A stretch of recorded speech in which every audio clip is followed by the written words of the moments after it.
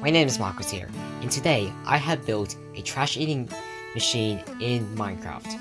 This build is supposed to replicate the trash eating robot from Mark Rober's video.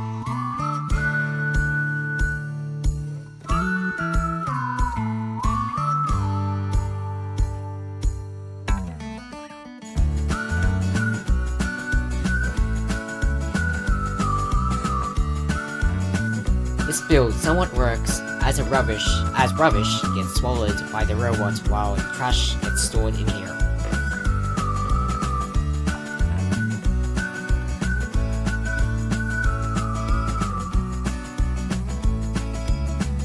Mr. Beast is trying to get 30 million pounds out of the ocean.